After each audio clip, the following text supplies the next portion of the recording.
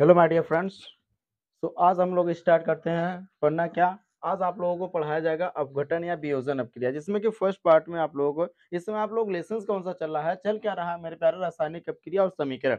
आप लोग बता दिया कि रासायनिक अपक्रिया क्या होती है? मैंने बताया था सर कि जब दो या दो से अधिक पदार्थ को आपस में मिलाया जाता है, एक नए पदार्थ का निर्माण होता है यही प्रक्रिया क्या कहलाती है? रासायनिक अपक्रिया कहलाती है और इसी को इसी का, यानी जो रासायनिक अभिक्रिया, इसी का प्रतीकात्मक निरूपण करना क्या कहलाता है? रासायनिक समीकरण कहलाता है। ये तो यहाँ तक हो गए थे जिसमें हमने बताया था कि रासायनिक अभिक्रिया को अनेक पार्ट्स में डिवाइड कर दिया गया।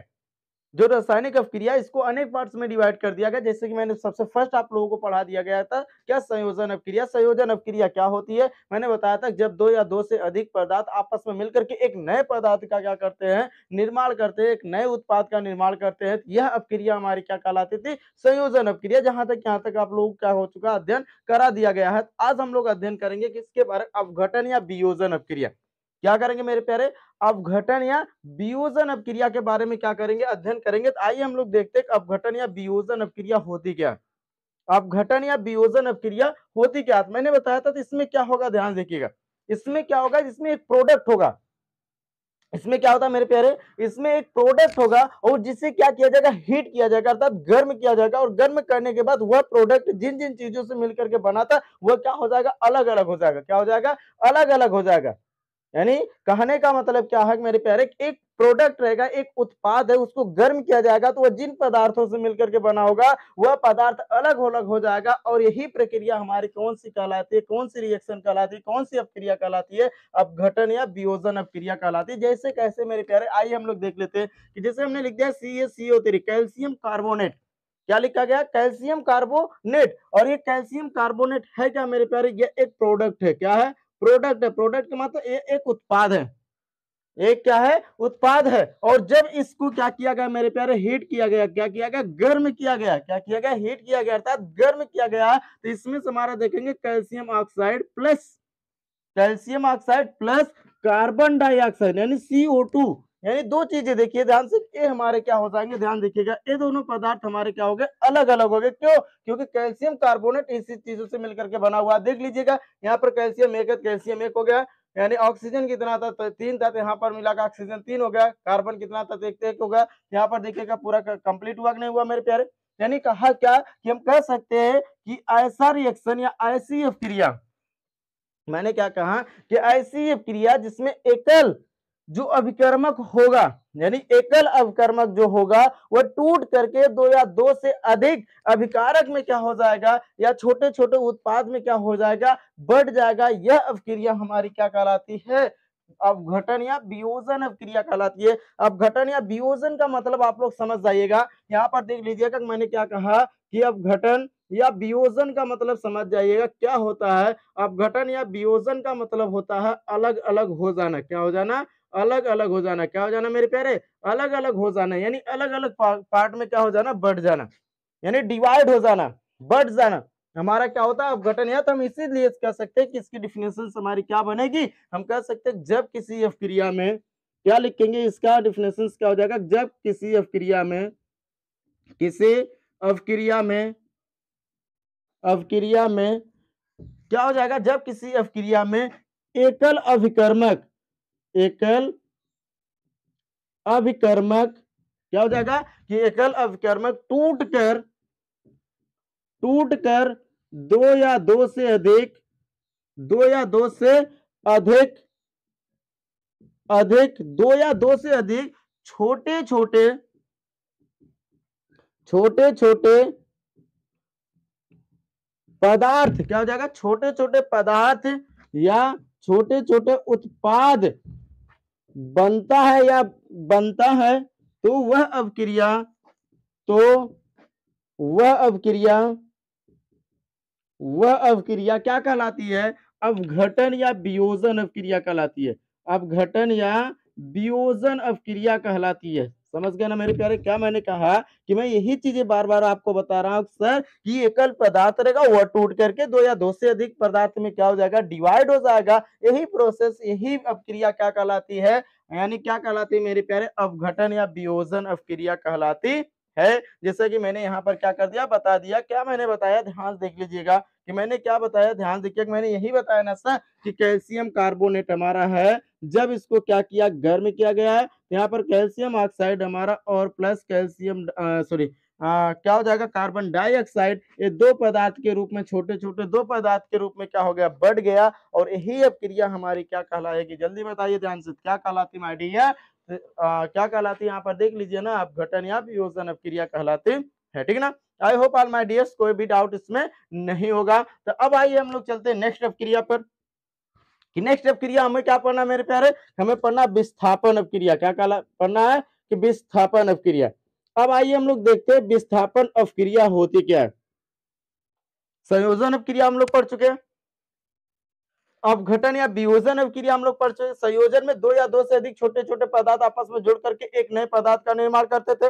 वियोजन में वही जो नए पदार्थ बनता था, एकल पदार्थ जो बनता तो वह टूट करके अलग अलग पार्ट्स में हो जाएगा। हम कह सकते हैं, संयोजन का जो संयोजन अपक्रिया होती है, उसका अपोजिट अवघटन अपक्रिया होती है। इसमें जुड़ करके एक पदार्थ बनाता है, उसमें एकल पदार्थ टूट करके दो या दो से अधिक पदार्थ में क्या हो जाता है? बढ़ जाता है। ठीक है ना मेरे प्यार? यही चीज़ें होता है। कहने का मतलब आप लोग समझ गए होंगे। अब हमें पढ़ना विस्थापन अपक्रिया क्या पढ़ना मेरे प्यारे? कि विस्थापन अपक्रिया होता क्या है? कि हमने लिख दिया यहाँ पर जब किसी अपक्रिया में किसी जब किसी अपक्रिया में एक या एक से अधिक, एक या एक से अधिक, या तो हम कह सकते एक अभिकर्मक एक अभिकर्मक में से में से किसी किसी तत्व किसी तत्व को विस्थापित करके किसी तत्व को विस्थापित करके विस्थापित करके स्वयं उसका स्थान, स्वयं उसका स्थान ग्रहण कर लेता है, ग्रहण कर लेता है तो वह अवक्रिया तो वह अवक्रिया क्या कहलाती है मेरे प्यारे? कि विस्थापन अवक्रिया कहलाती है। क्या कहलाती है? विस्थापन अवक्रिया कहलाती है। I hope all my dears आपके पास कोई भी डाउट्स नहीं होगा इसमें। आप लोग पूरा का पूरा कंप्लीट हो गया होगा। सर विस्थापन अवक्रिया क्या होता है? तो हम डायरेक्टली एक लैंग्वेज में कह सकते हैं कि इसमें क्या होता है? ये एक ऐसी अवक्रिया है जिसमें एक ज़्यादा क्रियाशील तत्व, ज़्यादा एक्टिवशील तत्व क्या करेगा? जो कम क्रियाशील पदार्थ रहेगा, उसका स्थान ग्रहण कर लेगा। और उसका स्थान ग्रहण करने का मतलब कि उसको हटा देगा भाई हट जा कहने का मतलब आप लोग पता है ना कि एक ताकतवर इंसान होता है ना। अगर बहुत लोग हैं जाने कहने का मतलब एक कमज़ोर है तो एक ताकतवर क्या करता है कि अपने ताकत से ज़्यादा भाई हट, उसके स्थान पर जाकर के क्या होता है, रुक जाता है। यानी उसका स्थान ले लेता है, भाई हट, तू इस लायक नहीं, मैं इस लायक हूँ। यानी कहने का मतलब एक ताकतवर कमज़ोर को हटा देता तो ये चीज़ यहाँ पर कह रहा है कि एक क्रियाशील तत्व जो होता है, वह कम क्रियाशील तत्व का स्थान ग्रहण करके वहाँ पर अपना क्या स्थान जमा लेता है। यानी यह अवक्रिया हमारी क्या होती है? जल्दी बताओ ध्यान से क्या होती है? विस्थापन अवक्रिया होती है। विस्थापन का मतलब एक को हटा करके अपना स्थान, यानी एक को हटा करके वहाँ पर रुक जाना है। वहाँ पर अपना स्थान ग्रहण कर लेना यानी अपना स्थान जमा लेना। क्या कहलाता है? विस्थापन अवक्रिया कहलाता तभी तो यहाँ लिखा गया, जब किसी पदार्थ यानी ऐसी अवक्रिया में एक अभिकर्मक में से किसी तत्व को विस्थापित करके स्वयं उसका स्थान ग्रहण कर लेता है तो वह अवक्रिया हमारी क्या कहलाती है? विस्थापन अवक्रिया कहलाती है। जैसे कहने का मतलब आइए हम लोग क्या कर लेते एग्ज़ाम्पल समझ लेते जैसे मान लेते ये दो हमारे क्या है? दो हमारे क्या पदार्थ है? अब इसमें हमने यह देखा, इसमें हमने यह देखा कि जो ए है, इसके पास ज़्यादा ताकत है। और जो बी है मेरे प्यारे, इसके पास क्या है? कम ताकत है। तो ये जाकर के कहेगा, भाई हट हट जा, हट। इसको हटा देगा तुरंत। तो ये क्या करेगा? इसका स्थान ग्रहण कर लेगा। एसी और बी को क्या कर देगा? बाहर। यानी यही मैंने बताया कि एक ज़्यादा क्रियाशील था तो कम क्रियाशील का क्या कर लेगा? स्थान ग्रहण कर लेगा। और यही अब क्रिया हमारी क्या कहलाती है? जल्दी बता दो ध्यान से, क्या कहलाती है? क्या कहलाती माई डियर विस्थापन अवक्रिया कहलाती है। ठीक है ना? I hope all my dears आपके पास कोई भी डाउट नहीं होगा। आइए हम लोग क्या कर लेते हैं? एग्ज़ाम्पल कर लेते हैं, जिससे मैंने क्या उठा लिया? मेरे प्यारे जिंक को उठा लिया। और जिंक की अपक्रिया किसके साथ? कापर सल्फेट के साथ क्या किया गया? किया गया है। अब देखिए, यहाँ पर देखिएगा, जिंक जो होता है, ज़्यादा क्रियाशील होता है। जो कापर होता है, ये कम क्रियाशील होता है तो ये जाएगा, इसका स्थान ग्रहण कर लेगा एक क्या बना लेगा? जिंक सल्फेट बना लेगा और प्लस का, और जो हमारा कापर था, ये कापर क्या हो जाएगा? अलग हो जाएगा। तो यही अब क्रिया हमारी क्या हो जाएगी? जल्दी बता दो ध्यान से, क्या हो जाएगी? यह अवक्रिया हमारी क्या कहलाती है? विस्थापन अवक्रिया कहलाती है। तो हमने क्या क्या अभी तक देखा माय डियर तो संयोजन किया, जिसमें दो एकल पदार्थ आपस में जुड़ करके एक नए पदार्थ का निर्माण करते हैं। फिर उसके बाद वियोजन क्रिया में क्या मैंने देखा? एकल पदार्थ टूट करके दो या दो से अधिक नए पदार्थ का क्या छोटे छोटे पदार्थ का निर्माण करते हैं। फिर उसके बाद हमने विस्थापन देखा तो इसमें क्या हुआ कि ज़्यादा क्रियाशील तत्व तो, कम क्रियाशील तत्व का क्या कर लेता स्थान ग्रहण कर लेता। है ठीक है मेरे प्यारे? आई होप इसमें आप लोगों को कोई भी डाउट नहीं होगा। चलिए प्लीज़ राइट और copy and screen shot all my dears चलिए फिर से चलते हैं अधिक दूसरे पे यानी दूसरी अब क्रिया अब हम लोग पढ़ते हैं। ठीक ना? I hope all my dears कोई भी डाउट्स आपके पास नहीं होगा। ठीक ना?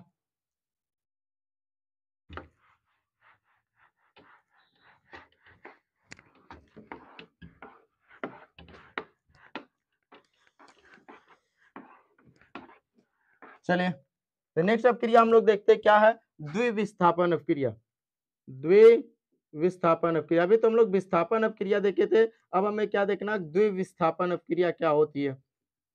द्विविस्थापन। अपक्रिया विस्थापन का मतलब आपको मैंने समझाया ये को हटा करके अपना स्थान क्या कर लेना, ग्रहण कर लेना। हम कह सकते हैं कि वे अवक्रिया है या वे अवक्रिया।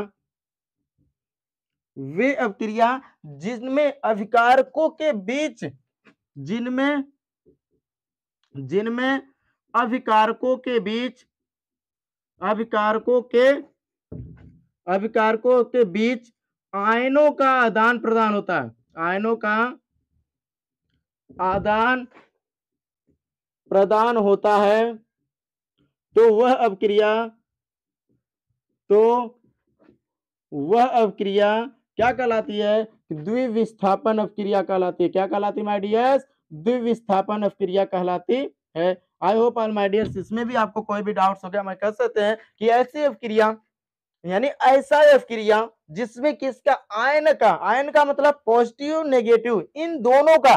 क्या आदान प्रदान हो? यानी जो पॉजिटिव रहेगा वो नेगेटिव का स्थान ग्रहण कर लेगा जो नेगेटिव रहेगा वो पॉजिटिव का। यानी यही आयन होते हैं इन्हीं का क्या होना आ, आ, क्या हो जाएगा? ये आयनों का आदान प्रदान करके जो हमारे क्या की प्रोडक्ट बनते हैं जिस अपक्रिया के द्वारा वह हमारी अपक्रिया क्या कहलाती है? द्विविस्थापन अपक्रिया कहलाती है। जैसे हमने लिख दिया मेरे प्यारे कि ए मान लेते ए बी और क्या हमारे? दो हमारे पदार्थ दिख रहे हैं। अब इसमें हमने क्या देखा? एक हमारा ए बी है और एक हमारा क्या? सी डी है। एक हमारा क्या मेरे प्यारे? एक हमारा ए बी है और एक हमारा सी डी है। मान लेते ए पर हमारा क्या पॉजिटिव और सी पर हमारा क्या है? नेगेटिव इन दोनों में क्या हो जाएगा? आपस में हम कर लेंगे तो यानी इसमें देखेंगे जो बी रहेगा वो क्या कर लेगा? सी का स्थान कर, कर, कर लेगा प्लस क्या हो जाएगा? ए डी तो ऐसे क्रिया हमारे क्या कहलाती है? जल्दी बताए ध्यान से। क्या कहलाती है? जल्दी बताओ ध्यान से। बोलो डियर्स क्या कहलाती है? यह कहलाती है हमारे द्विविस्थापन क्रिया कहलाती है। कैसे? आइए हम लोग एक एग्जांपल लिख लेते हैं। हमने लिख दिया कि N A two S O four की अब क्रिया किसके साथ कराई जा रही है? कि B A C L two के साथ। किसके? B A C L two के साथ जब इसकी क्रिया कराई जा रही है। यानी जब इसका कर, क्रिया कराई जाए मैंने क्या कहा कि सोडियम सल्फेट सोडियम सल्फेट की क्रिया बेरियम क्लोराइड के साथ किसके साथ? बेरियम क्लोराइड के साथ कराई जा रही है। इसमें हमारा क्या होगा मेरे प्यारे? इसमें हमारा क्या होगा? ध्यान देखिएगा कि जो ए है ए हमारा क्या होता? है पॉजिटिव और सीएल क्या रहेगा? नेगेटिव ये जाकर के इसका, यानी हमने क्या कहा? आयन का आदान प्रदान होता है। देखो, ये दोनों आपस में क्या हो जाएँगे? आकर के जुड़ जाएँगे। तो हमारा क्या हो जाएगा माई डियर जल्दी बता दो ध्यान से। क्या हो जाएगा? ये, हो जाएगा यानी सीएल क्या हो जाएगा माई डियर यानी सीएल यानी सीएल बट दो दो है ना माई डियर तो हमारा क्या हो जाएगा? टू यानी सीएल और प्लस का बचा क्या मेरे प्यारे? कि बी ए यानी बेरियम बचा। और क्या बचा? एसओ फोर बचा। यानी क्या बचा मेरे पास बेरियम और एसओ फोर बचा। तुम्हारा क्या हो जाएगा? कि बी ए एसओ फोर तुम्हारा क्या प्राप्त हुआ? सोडियम क्लोराइड और बेरियम सल्फेट प्राप्त हुआ। यानी इसमें देखेंगे किसका आदान प्रदान हुआ मेरे प्यारे? एक आयन का आदान प्रदान हुआ। तो यही अपक्रिया हमारी क्या कहलाती है? जल्दी बता दो, ध्यान से क्या कहलाती है? द्विविस्थापन अपक्रिया कहलाती है। तो आपको लिखना कैसे है? आप लिख सकते हैं, यानी कैसे समझ सकते हैं? आप किसी भी अपक्रिया को देखिए, अगर उसमें हमारे का पॉजिटिव और नेगेटिव का आदान प्रदान हुआ, यानी इसके मार्क को क्या हुआ? है। तो हमारी वह अपक्रिया क्या हो जाएगी? क्या हो जाएगी? जल्दी बता दो मेरे प्यारे। द्विविस्थापन अपक्रिया हो जाएगी। क्या हो जाएगी? द्विविस्थापन अपक्रिया कहलाती है। I hope all my dears इसमें भी आपको कोई डाउट नहीं होगा। ठीक है ना? प्लीज़ राइट योर कॉपी जल्दी लिख लीजिए मेरे प्यारे। ठीक है ना?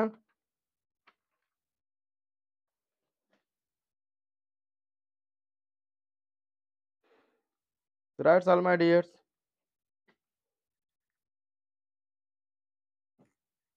चलिए।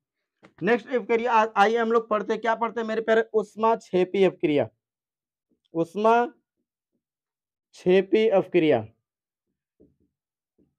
उष्मा छेपी अपक्रिया हम लोग पढ़ते हैं। एक उष्मा छेपी होता है और एक हमारा क्या होता है? मेरे प्यारे उष्मा शोषी अपक्रिया एक हमारा उष्मा छेपी होता है और एक हमारा क्या होता है? मेरे प्यारे उष्मा शोषी अपक्रिया होता है। आइए इन दोनों के बारे में हम लोग अच्छे से क्या कर लेते हैं, देख लेते हैं। इसमें हो सकता है मेरे प्यारे, कोई भी समस्या आपको नहीं आएगी मेरे प्यारे। ध्यान देखिए इसे केवल आप समझिए।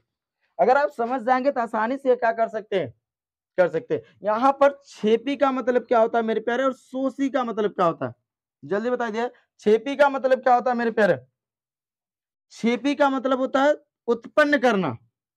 और शोषी का मतलब होता है ग्रहण करना।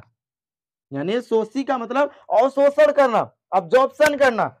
और छेपी का मतलब क्या होता है? उत्पन्न करना, यानी देना। हम कह सकते क्या कर सकते मेरे प्यारे, कि ऐसी क्रिया, यानी ऐसी क्रिया जिसमें उत्पादन के साथ साथ क्या निकलता है, क्या उत्पन्न होता है? उष्मा भी उत्पन्न होती है। क्या उत्पन्न होता है? उष्मा उत्पन्न होती है। यानी कहने का मतलब जैसे हमने लिख दिया कार्बन और प्लस ऑक्सीजन की क्या कराएगी? क्रिया कराएगी।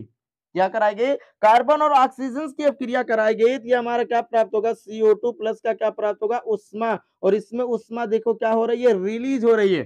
क्या हो रही है? रिलीज़ हो रही है। मैंने बताया क्या मेरे पर मैंने यही बताया कि ऐसी क्रिया जिसमें उत्पाद के साथ साथ उष्मा का, यानी उष्मा उत्पन्न हो।